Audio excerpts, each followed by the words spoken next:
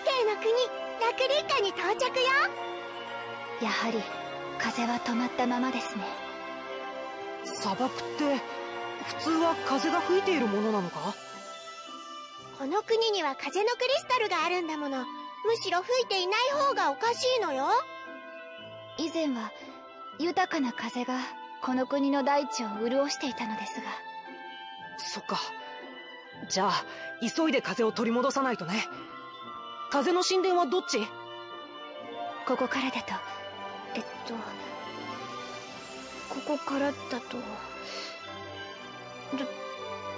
どどっちでしょう？アニエスに聞いちゃダメよ。全く当てにならないもの。よくカルディスラまでたどり着けたね。待て。俺の手帳にラクリーカについて詳しく書いてある。砂漠に抱かれ風に潤う大時計の国。誰もが時を重んじるなだらけす砂漠の中央に位置しさらにその南に風の神殿がある。とのことだ。へえ詳しく書いてあるね。それって実は旅日記なんじゃない？旅か。旅先での出会いは人を情熱的にさせる。この国にはかつての俺を知る女性がいるだろうか。行きましょう。神殿は南です。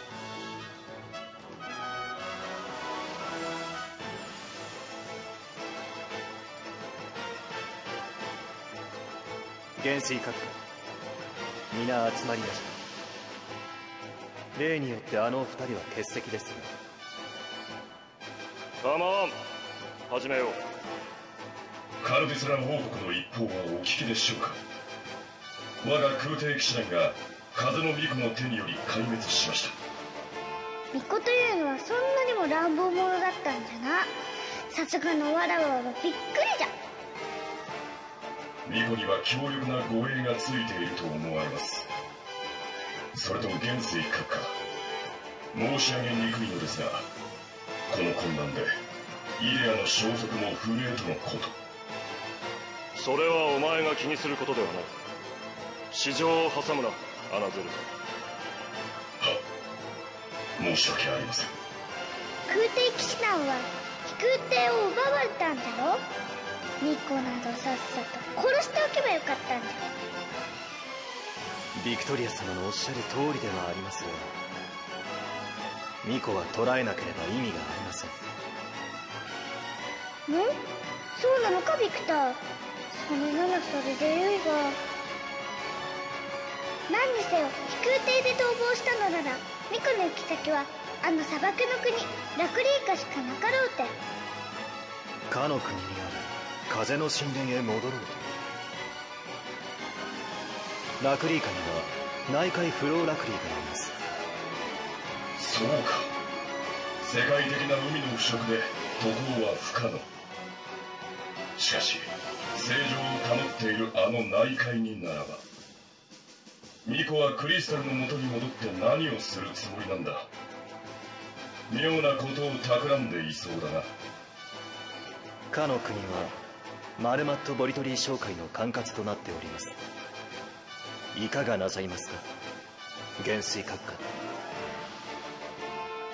すでに情勢は巫女に手を煩わせている段階ではない速やかに巫女を捕らえよ手段は問わぬ。マルマット・ボリトリー商会にはそう通達せよ。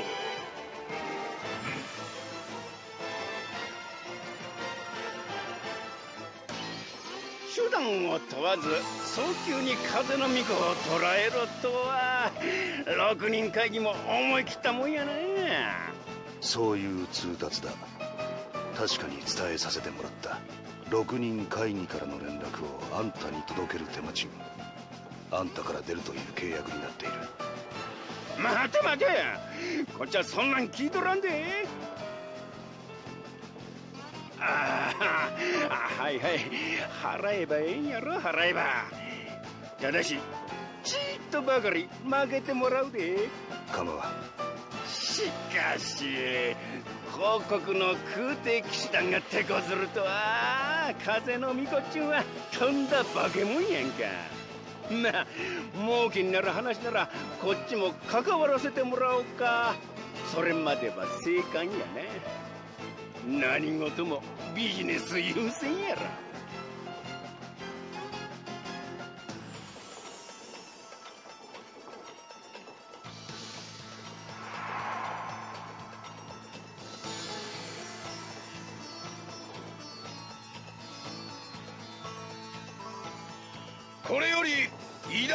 国王マヌマット八世陛下よりありがたいお言葉がある心して聞くように。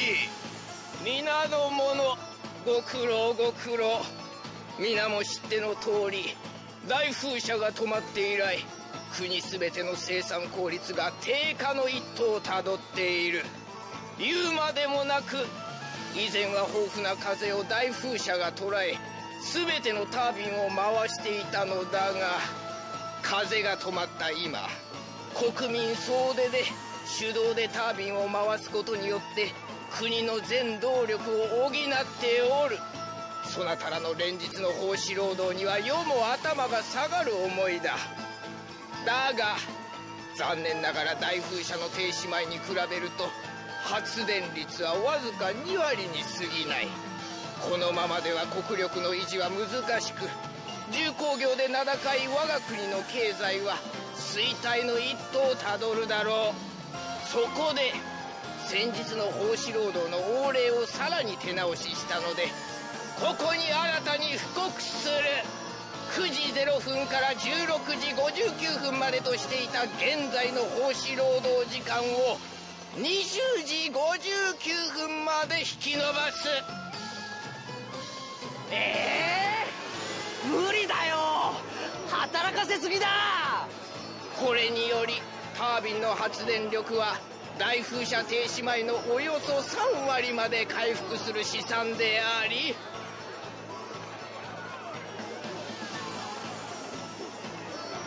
陛下陛下。大変です。何？風の巫女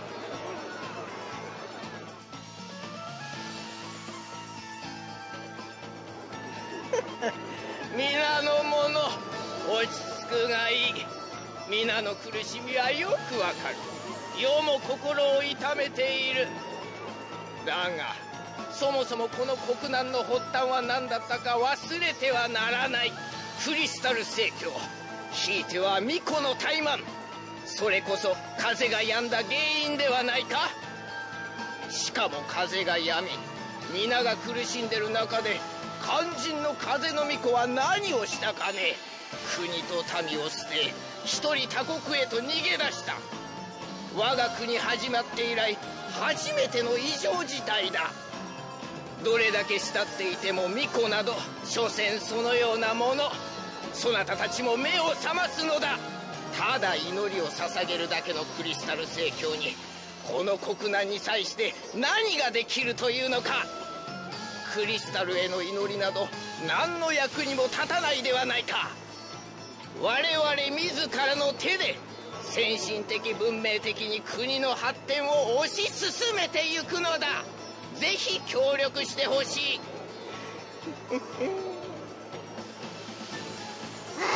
あああいつ今こっち見てニヤってした？どうやら完全にアニエスに気づいていたようだななんだか嫌な感じ。あんなの言ったもの勝ちじゃん。アニエス。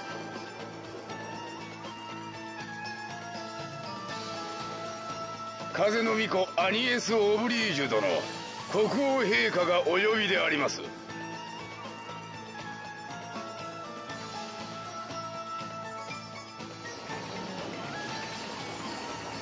風の巫女よ戻っていたのだな。ならばなぜ真っ先に世のもとに参じないのか。心配していたのだよ。あまりに帰りが遅いので事故にでもあったのではとな。でカルディスラの大穴はどうだったのかね。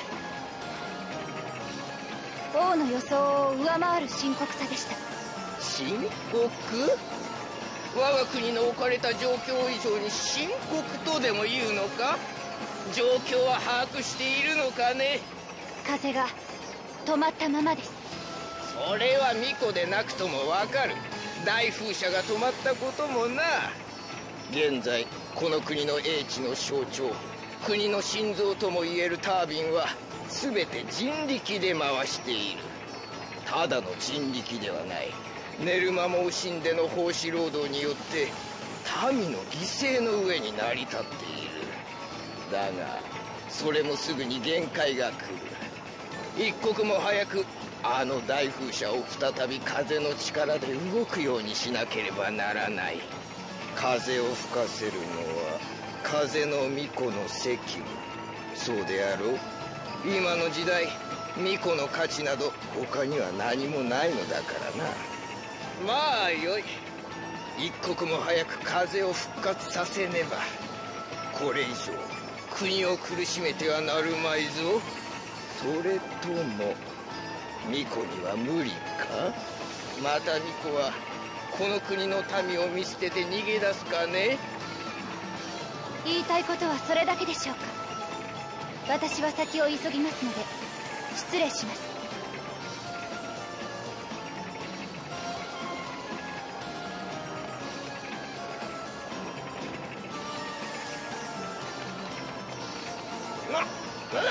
な、んという言い草だ。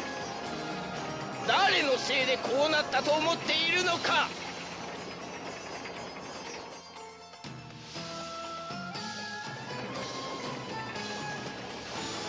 今のはまずいよ。アニエスが怒る気持ちもわかるけど。怒る？私は別に怒ってなどいません。ただ王が怖いのです。嫌味な感じはしたよ。でも怖そうには見えなかったけどな。王の周りに集まっていた人たちも町にいる人たちも皆怖いのです。王も民もみんな巫女としての私しか見ません。私はどう接すればいいのかわからなくてつい身構えてしまうのです。道理でさっきからずっと表情が硬いと思った。でも私今のでスカッとしちゃったけどな。あの嫌味なここおったら顔真っ赤にしてたよ。俺は男の長話になど付き合いたくはないな。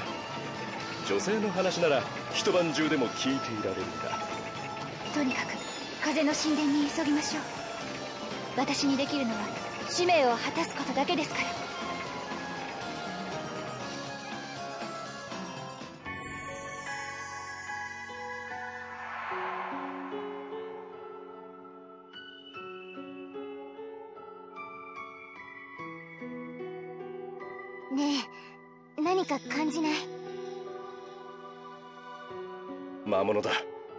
魔物がうろついている。しかもかなりの数だな。神殿の中に魔物が？一体どうして？アニエスここで何があったんだ？風のクリスタルが闇に飲まれたのです。闇に？今思えばその異変はあの大穴が開いたのと同じ頃でした。そしてクリスタルを飲み込んだ闇はさらなる闇を生み出し続けきっと絶えず生み出される闇があのような魔物さえ呼び込んでいるのでしょう。そんな進みましょう。油断しないでください。気を抜くと命を落としかねません。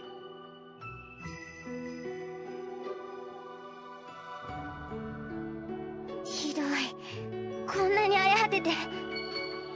静寂に包まれた場所か。だがそれだけではない。ここは悲しみに満ちている。私と共に暮らしていた修道女は皆私を逃がすために自ら盾となって。そんな全滅だなんて。まるでノルエンデ村と同じじゃないか。しかし彼女たちを愛悼することも弔ってあげることも嘆くことすら今の私には許されません。彼女たちは己の身を投げ出して私にクリスタルを託していったのですから。託された思いに応えるため。私は何があっても使命を果たさなければならない。必ず。嘆いたっていたんだって。いいじゃないか。追悼の祈りならもうこの胸の中で何度も今は前を向かなければ。さあクリスタルを祀ってある祭壇はこの先です。行きましょう。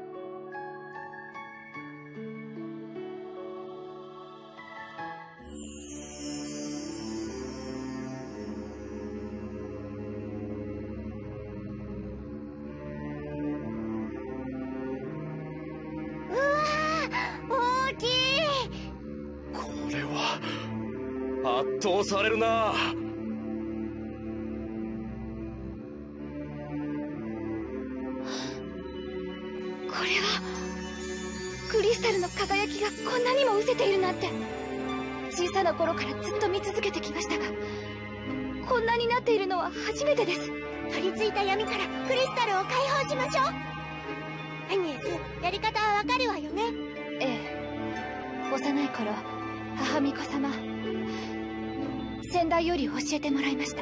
クリスタルに訪れた災厄を払い清める方法精神を研ぎ澄ませ巫女の呼吸をクリスタルの波動と同調させることで歴代の巫女が連綿と紡いできた祈りの力を覚醒霊気させる。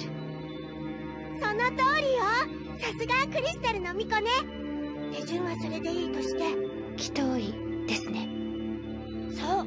同意を着ないとクリスタルの波動と呼吸を同調させることは絶対にできないのよ。宝物庫に母巫女様から受け継いだものが一着だけ保管されているはずです。取りに行きましょう。そうすれば解放の儀式を始められるわ。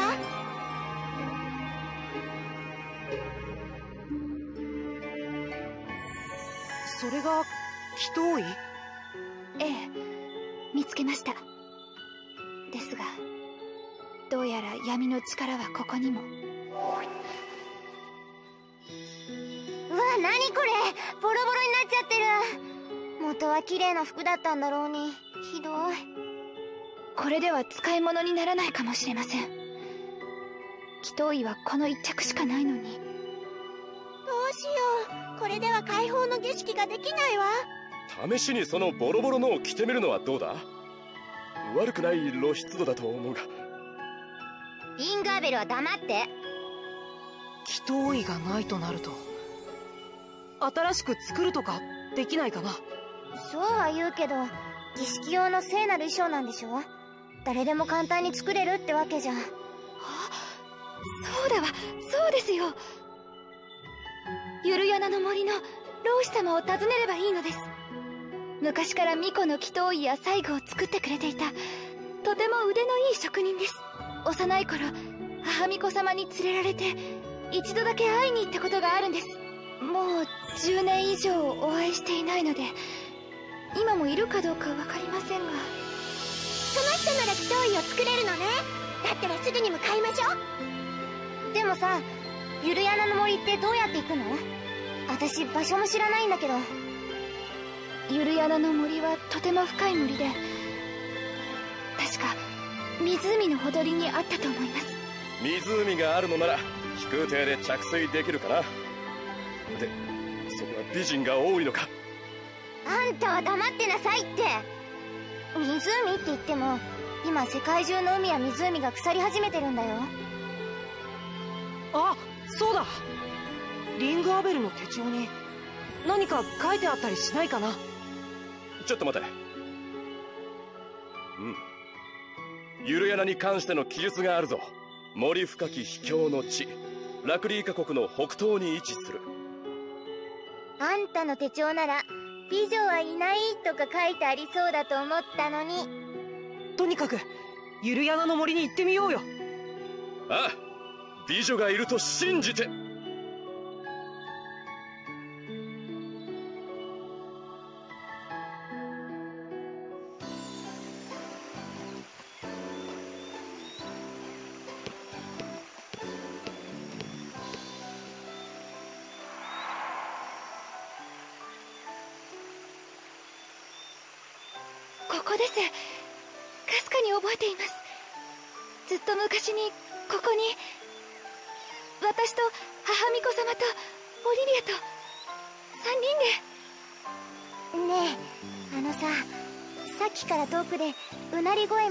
聞こえない？聞こえたとしてもどうでもいい。それより美女はどこだ？人は住んでいそうだけど。誰かいませんか？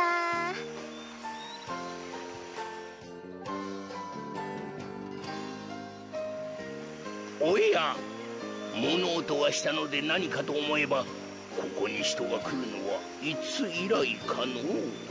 さてどちらさんかな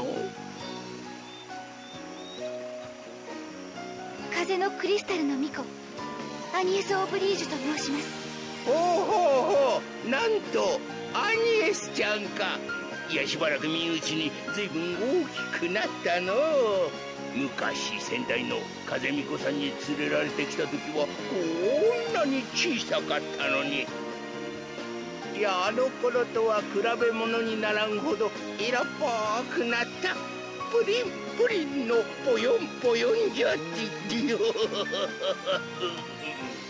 ななんなのこのスケベじじいではやはりあなたが老子様なのですね失礼ですがお名前はさてなここに住んでいると人に名前を呼ばれることなどめったにない。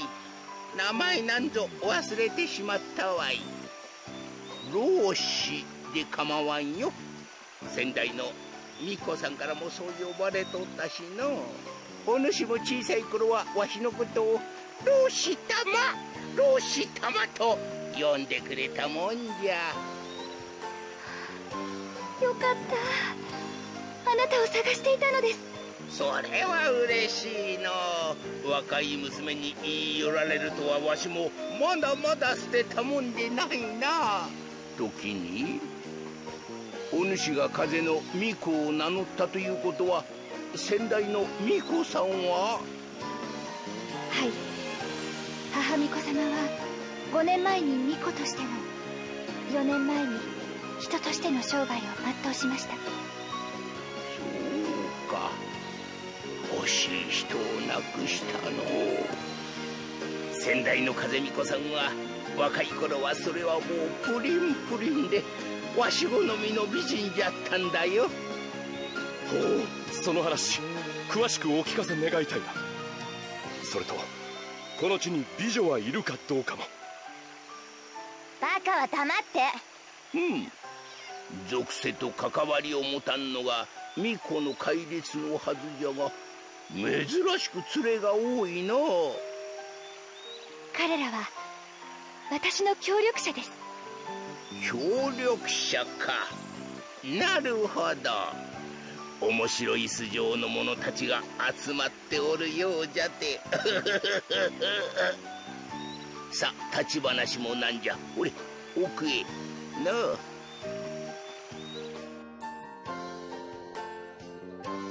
そうかそんなことがあったか。アニエスちゃんよく頑張ったの。一人ではここまでたどり着けませんでした。ディズがいてくれたおかげです。うん。最悪の時代がいよいよ訪れたのかもしれんな最悪の時代？世界中に現れた闇はその兆し。大穴もクリスタルと神殿を飲み込んだ闇もじゃ。その闇を払うため4つのクリスタル全てを解放することこそ巫女の使命。解放じゃと？実に素晴らしい！えどうしたの？ご老体隣の部屋にある婦人向けの衣装勝手ながら拝見させてもらった。そのどれもが実に美しく魅惑的なものでたまらず見惚れてしまったほどだ。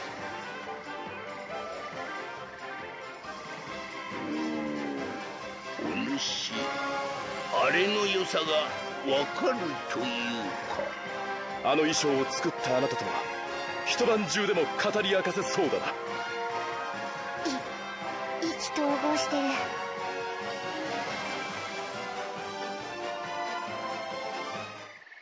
リングアベル今大事な話をしてるのに。これはロマンの問題さ。いずれティズにも分かるようになる。それに今大事なのは話をすることではなく一刻も早く巫女の祈祷医を手に入れることのはず。俺はあそこに祈祷医がないかを吟味していただけだよ。ほほそうか。お主らは巫女の祈祷医を求めてここに来たというわけか。はい。神殿に一着だけあったのですが闇に飲まれてボロボロに。うん。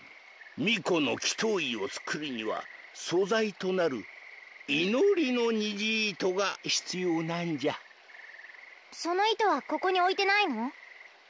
残念ながらないのじゃ。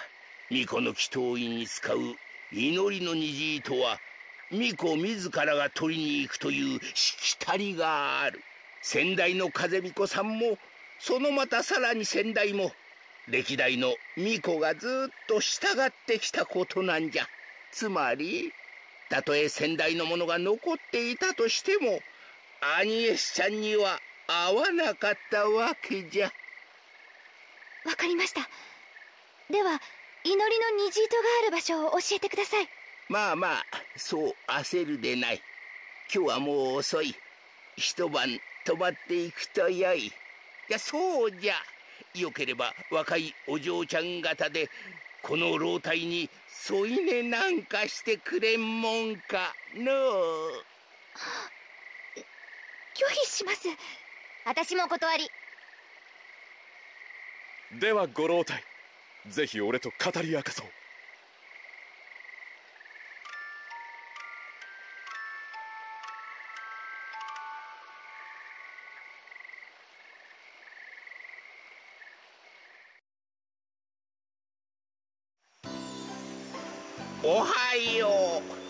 く眠れたかな？のイデアちゃんと言ったか？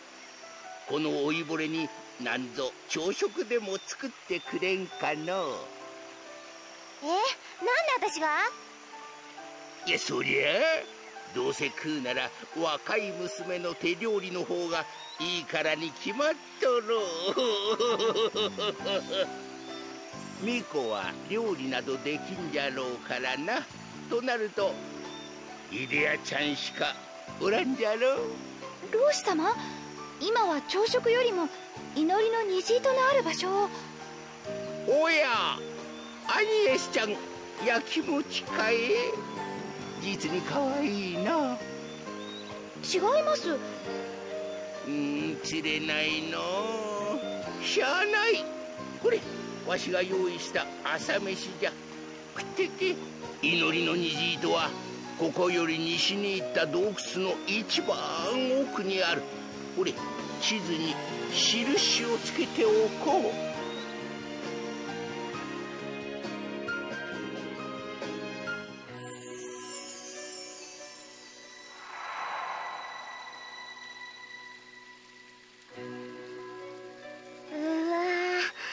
気味な雰囲気。嫌な感じだな。絶対奥に何か潜んでそう。本当にこんなジメジメしたところにあるのかな。からかわれてたりしてな。あの老人つかみどころがない。リングアベルがそれを言っても説得力ないけどね。老師様とは先代の頃からのお付き合いです。信じましょう。ここで話していてもしょうがないよさあ進もう。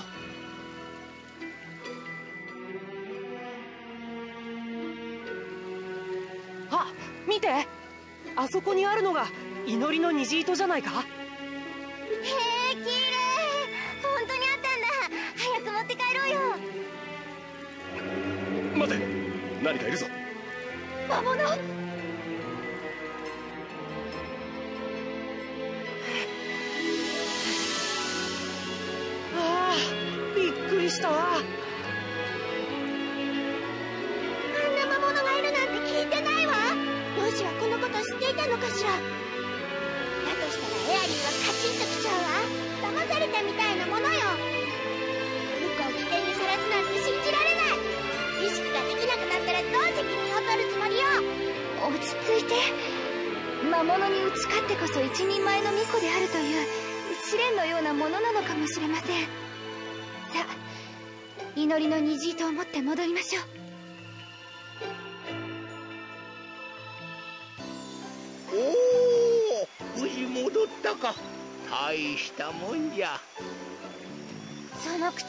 するとあそこに魔物がいるって知ってたんだ。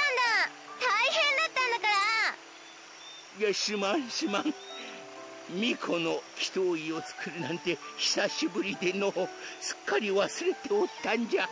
では早速祈祷医作りに入るとしようか。まあどれだけ急いでも明日の朝まではかかる。その間はここで休んでいくとよい。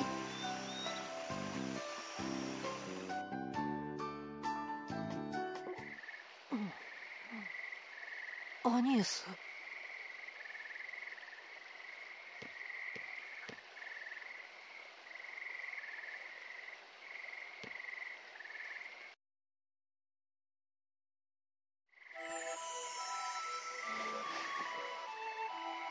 どうした？眠れんのかね？老師様このペンダント覚えていますか？幼い頃老師様にいただいて以来ずっとお守りのように大切にしてきました。ああ覚えとるよ。いや懐かしいの。今も肌身離さず持っておるとは。感心感心。辛い時これに祈り語りかけていると不思議と勇気が湧いてくるのです。これからもなくさないようにしなさい。いつかきっとお主を守ってくれるじゃろうって。前にここを訪れた時私ともう一人一緒にいた女の子のことを覚えていますか？オリビアちゃんじゃな？はい。今は水の巫女を務めています。彼女が今どうしているか分かりませんか？風のクリスタルが闇に飲まれたのと時を同じくして世界中の海が腐り始めてしまいました。海に活力を与えているのは水のクリスタルです。つまり風のクリスタルと同じように闇に飲まれてしまったのかもしれません。水の巫女オリビアが無事なのかどうか確かめたいのですが今の私にはその術がなくそれはわしにもわからんの少なくともオリビアちゃんはここを訪ねてきてはおらん。そうですか。オリビアちゃんのこと以外にも何か思い悩むことがあるようじゃな。あわからないのです。私はほんのつい最近まで修道女に囲まれて風の神殿でひっそりと暮らしていました。外の世界のことなど何も知らなかったんです。そんな世間知らずな私がなそうとしている使命が本当に正しいのかどうか自信がないんです。うん。昔とは違い人々の心はクリスタル聖教からは離れ忘れ去られてしまったと言っても過言ではない。しかしそんな時代であっても民は無意識ながら巫女とクリスタルに対する畏敬の念を持っておる。お主はお主の信じるべき使命を果たせばよい。それこそが巫女の示す道となろう。でも私は母巫女様に比べ全てが未熟なのです。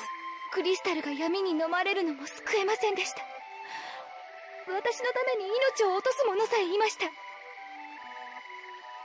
人は皆民も王も巫女として未熟な私を言葉や目で期待と落胆とで責めるんです。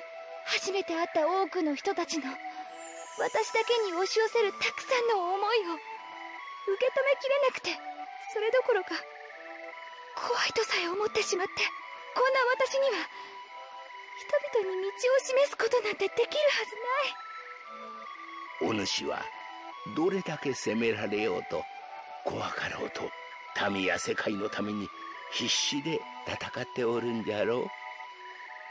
それは立派な生き様じゃ。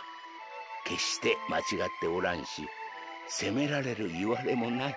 じゃがお主はその生き様を道として示さなければならん。かつての巫女たちがクリスタルの輝きを組み人々に啓示を与え導いておったようにの言葉の力というものは確かに存在するお主の巫女としての言葉の力じゃ。人々を動かす力と言ってもよいの。お主が人々のためと信じ世界のためと思い行動してきた道を言葉で示すんじゃ。その指し示した道が受け入れられるかどうかは民がそして世界が決めることではあろうがお主自身が心を開き道を示せば必ずや多くの人々が希望を見出すじゃろう。希望？ディズニーも同じようなことを言われました。なんじゃ。お主はすでに誰かの希望になっておるではないか。きっと届くよ。お主の言葉は。私の言葉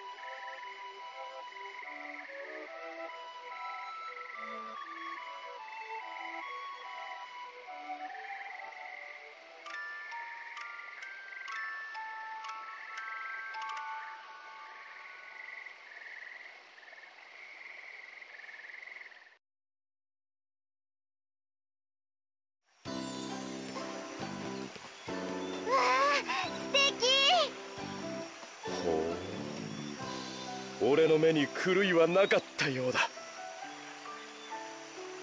アニエス似合うよ。似合うとか似合わないとかそういう感想は必要ありません。これはあくまでも儀式用の装束なのですから。でもありがとう。ええさすがに徹夜はこの老体にはしんどいわい老師様ありがとうございます。これで再び風を取り戻せます。お？お本当に感謝しとるのか？ならばその印としてほっぺにチューしてもらおうかなこのスケベじじい何言ってんのよ？それは巫女の祈祷医を作成するしきたりに含まれる行為ですか？絶対違うって。騙されちゃダメ。では拒否します。はっきりしたるな。また何か困ったことがあったらいつでも尋ねるがよい。はい。ありがとうございましたよし。風の神殿に戻ろ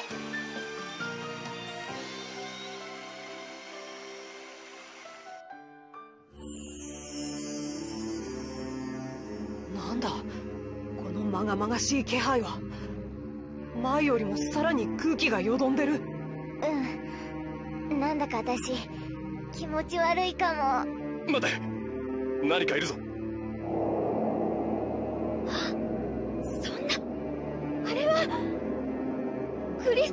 魔物が取り付いてる。あいつはオルトロスよ。あれがオルトロス。クリスタル聖教の伝承に登場する。最悪を引き寄せし者。どうする？あれを倒さなければクリスタルは解放できません。やるしかないってことでしょ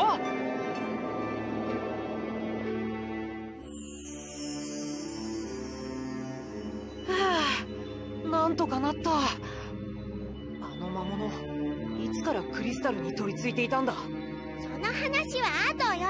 今クリスタルの解放が先なの。そうだね。またあんなのが出てきたらちょっとまずいかも。アニエス儀式の準備を急いで。わかりました。エアリーお待たせしました。じゃあ解放の儀式の手順をもう一度確認するわよ。クリスタルに祈祷を捧げ続ければいいのですね。そうよ。それによって巫女の命の息吹とクリスタルの波動とが同調して覚醒霊気していくわ。霊気が進めば元の正常な状態に戻るわ。でもそこでやめずにさらに祈り続けるの。クリスタルが壊れる一歩手前まで霊気させた後一気に解放すれば思いの力は広い範囲に拡散するわ。で注意点がいくつか。ヘアリーがいいって言うまで祈祷は続けること。でないとクリスタルの波動が逆流してアニエスの身に深刻な影響が出るかも。逆にストップって言ったらすぐにやめること。強引に続けたらクリスタルの方が壊れちゃうわ。わかりました。それと他のみんなは儀式中は黙って見ていてね。儀式の間アニエスの体には大きな負担がかかるのよ。でもどんなに苦しそうでもアニエスとクリスタルには近づいてはいけないわ。負担がかかるってどういうこと？危険はないのか？エアリーがちゃんと見てるから大丈夫。心配しないでいいわ。さあアニエス以外は下がって下がって。アニエス始めるわよ。準備はいい？はい。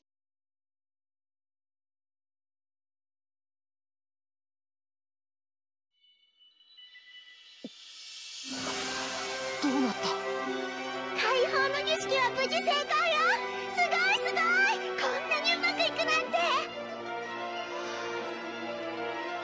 かった。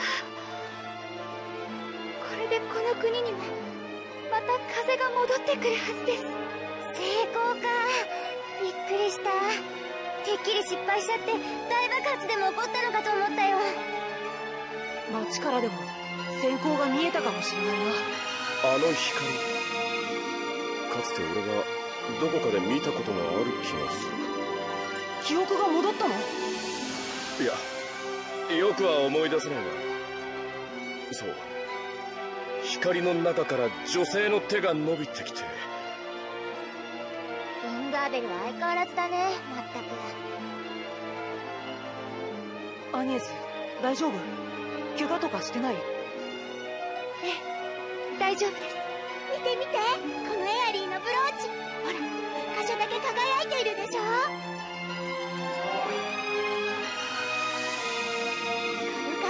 スタルが解放された印よ。つまりクリスタルを4つ全部解放すればそのエアリーのブローチも完全な輝きを放つと。そういうことよ。残りはあと3つね。あと3つ。とりあえずこれで風は戻るんだよね。街に戻ろう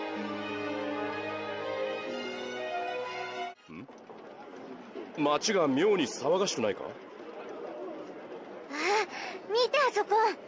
あそこに嫌味な王様がいるよ。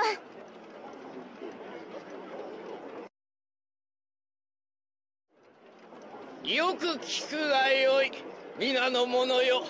先日国難の渦中におめおめと国外へ逃げ出した風の巫女が再び逃げ戻り世に許しを請うてきたそれを世は受け入れた。今は巫女の失態を非難している場合ではないと判断したのだ。すると巫女は自らこう言い放った。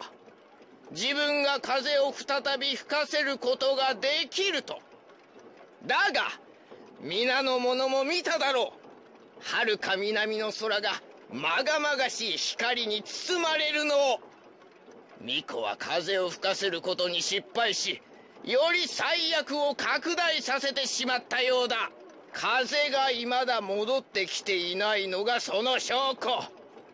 世は己の不明をただただ恥じるばかりだ。巫女などに事態の収拾を任せるべきではなかった。クリスタル聖教。そして巫女はすでに過去の幻想。クリスタルを御する術さえも失っているのだ。さあ皆の者もはや巫女には頼るまいぞ。我ら自身の手で国難に立ち向かうのだ。国のためさらなる奉仕労働に励んでもらいたい。1日20時間以上奉仕した者には勲章も授けよう。この試練に打ち勝った時ラクリーカ王国は新たなる歴史を刻み始めるのだ。お待ちください。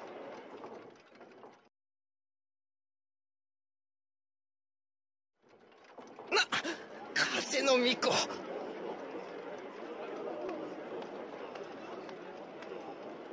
皆さんご安心ください。風のクリスタルは先ほど解放しました。嘘をつけではなぜ風が吹いていないのだ？そうだ。風は吹いていない。大風車は動いていないぞ。王様の言うことの方が正しいんじゃ。君の歩いてきた軌跡はきっとみんなの行く末を照らす光になる。だから恐れるな光私の歩んできた道がみんなに希望をもたらす。私に勇気を。聞いてください。この国では絶えず吹いていた風が止まってしまいました。カルディスラの王国では闇の大穴が大地に開き一つの村が消えました。世界中の海は腐り始め魚は死滅し船は航行することもできません。今まさに世界中で多くの人々が多くの命が苦しみにあえいでいます。私は王の依頼でこの国を離れそうした多くの苦しみをつぶさに見てきました。これはおそらく4つのクリスタルが全て闇に飲まれてしまったせい。現に風のクリスタルもまた闇の魔物に取りつかれその力を封じられていました。何を言うかと思えば妄想に幻想か。くだらんな。幻想ではありません。その魔物は私とここにいる仲間たちとで打ち払いました。これがその証拠です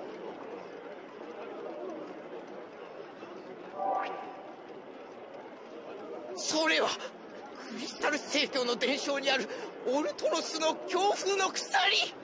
バカな強風の鎖はオルトロスがその体にまとうと言われる伝説の魔装。伝説の魔装強風の鎖を巫女様が持っているってことは。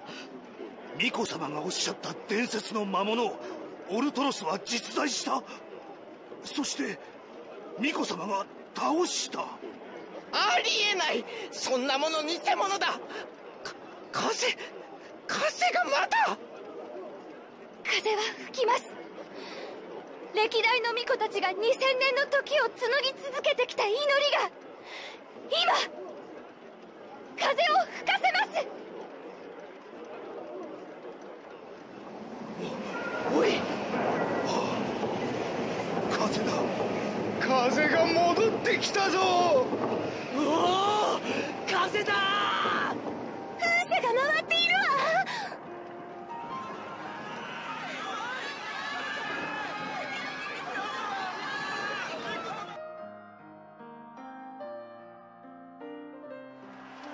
私の声届いた。そうだよ。みんな分かってくれたんだ。君の示した道に希望が見えたんだ。アニエスかっこよかったよ。ニコってすごいね。あなたは確かに白だよ。やはり俺の目に狂いはなかったな。さあみんなの声に応えてあげなよ。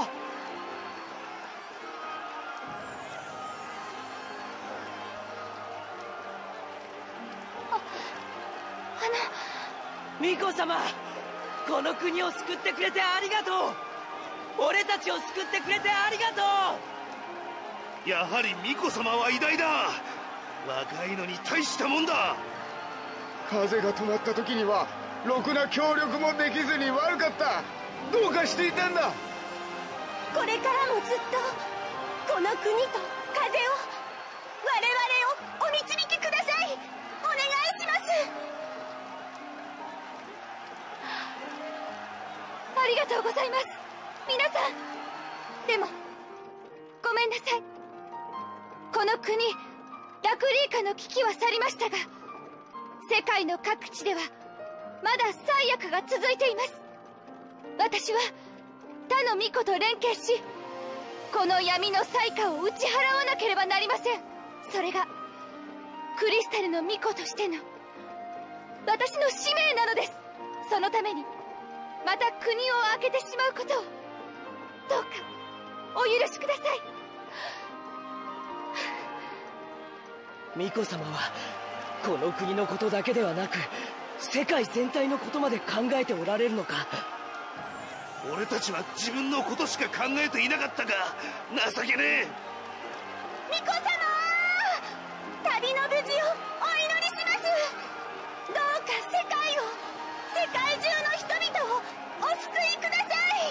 頑張れ巫女様。ありがとう。皆さんありがとう。必ず使命を果たしまたこの国に戻ってきます。へ なんだこれは。この茶番は何なのだ。あんな小娘に足元を救われただと。世は世はこの国の偉大なる王だというのに。おのれおのれ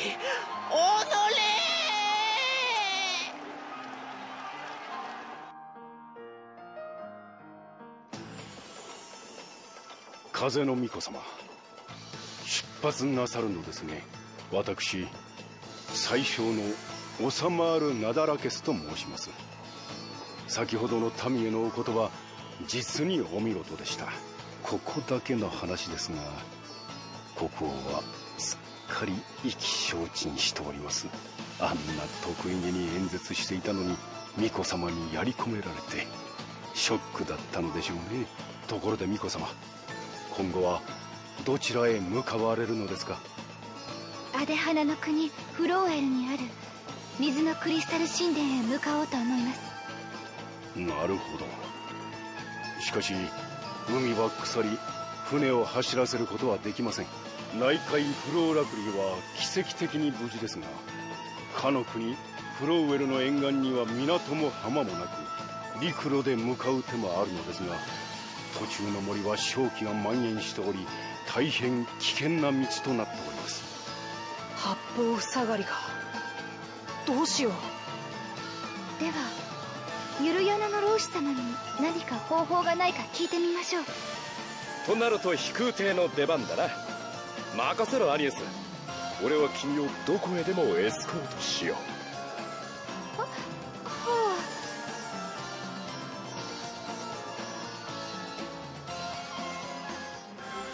こんなにのんびりしていてもいいのでしょうか。多少の休息は必要だ。でないといざという時に実力を出せない。それに働きすぎはお肌に悪いというぞアニエスおお肌ですか？リンガーベル。あんまり悪乗りしないように。アニエスが困ってるでしょ？ほう。イデアは俺に相手をしてもらえず嫉妬しているのかな？そんなわけないじゃん。嫉妬してもらえない男と悲しい生き物はこの世にない。ティズ覚えておけ。少し風に当たってくる波に揺られるのも苦手だ。大丈夫でしょうか？ただの船酔いでしょ？ほっとけばいいって。アニエス君は他の巫女とは面識あるの？さっき連携を取るって言っていたけど。連携と言いましたが実は私土の巫女様にも火の巫女様にも。お会いしたことはないのです。幼い頃から顔なじみで隣国に神殿がある水の巫女。オリビアとしか面識がなくてお互いに巫女になってからは連絡を取れずにいたのですが世界の海の腐食を考えると水のクリスタルにも何らかの災悪が訪れていると見るべきでしょう。水の巫女。オリビアが無事だといいのですが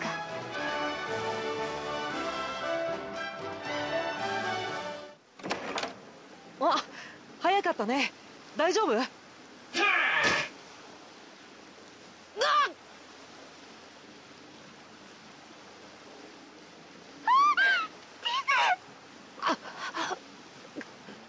風のクリスタルの巫女。アニエス・オブリージュだな。おとなしくバクにつけ。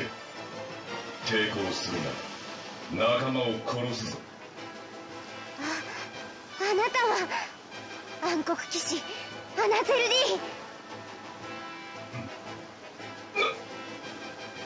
イデア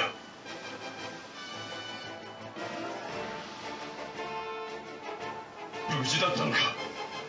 心配したんだぞイデアやはりミコに囚われていたんだな。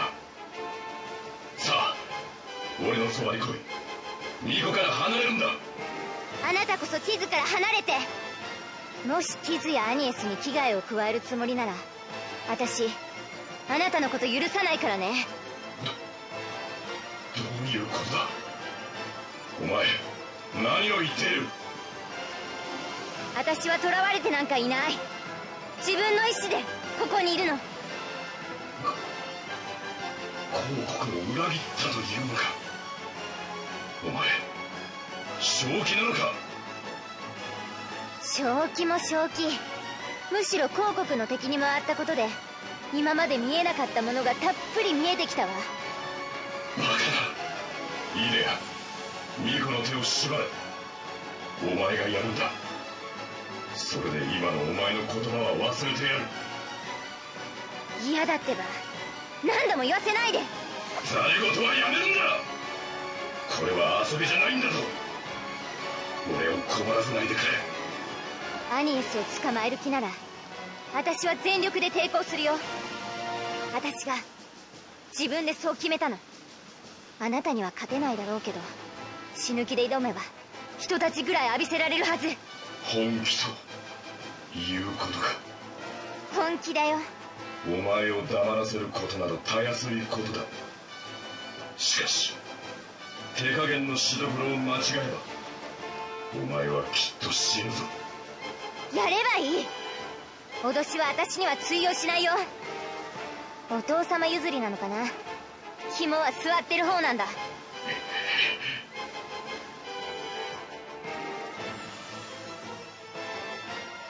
このことはお前のお父上に報告せねばなるまい。考え直す気はないのか？もう決めたの。この分からずやめいいか？この場は一旦引く。だが忘れるな。お前たち巫女の一党は常に我々の監視下にあるということをな。風の巫女よお前のしようとしていることは時代を逆行させ世界を破滅に向かわせるものだ。これ以上好きにはさせない。足止めさせてもらうぞ。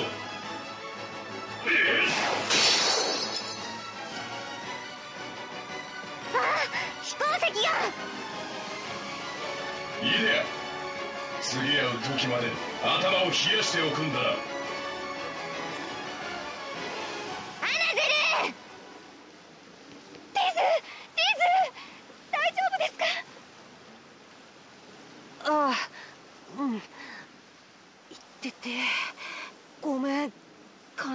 時に役に立てなくて。あ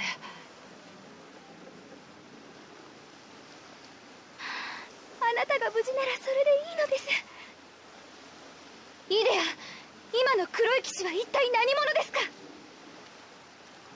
あいつはエタルニア広告軍の最高意思決定機関6人会議のメンバー。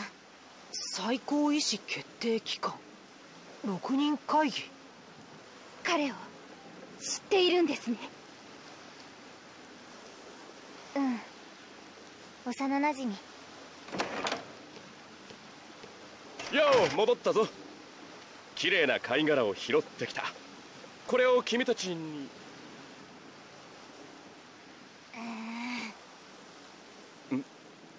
何かあったのか？リングアベルって本当にどうしようもないね。どう？ダメだな。全く飛び上がる気配がしない。飛行石というものがないとこの船は浮上することができないようだ。うぐぐアナゼルのやつ。まんまとしてやられたよ。こんなところで立ち往生している場合じゃないわ。なんとかして。となると陸路しかないな。あの正気があふれるっていう森を突っ切るしか。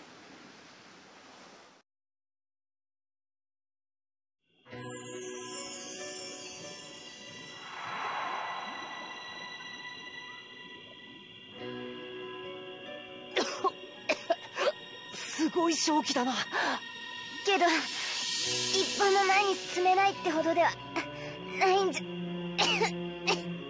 風が戻ったことで滞留していた正気が薄らいだのかもしれないな。これならなんとか通れるかもしれません。行きましょう。